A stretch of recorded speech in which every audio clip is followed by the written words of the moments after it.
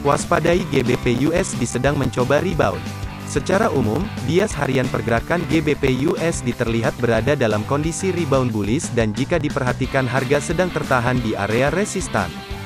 Jika pergerakan GBP USD bergerak ke bawah dan tertahan di sekitar area kritis pada kisaran 1,32083 sampai 1,31936 juga indikator ADX bergerak ke atas maka ada potensi harga akan menyentuh area 1.32076. Sebaliknya waspadai jika harga GBP USD terus bergerak ke bawah dan menembus level 1.31936 maka ada potensi harga akan berbalik arah dengan bergerak bearish ke bawah menuju level berikutnya pada kisaran 1.31696.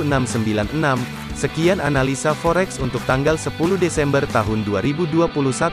Untuk konsultasi gratis mengenai posisi trading forex Anda, silakan hubungi 081212 983 101. Sekali lagi, 081 212 983 101. Kami dengan senang hati berbincang dengan Anda. Untuk mendapatkan analisa forex setiap hari, silakan subscribe ke channel ini. Sampai jumpa di video berikutnya.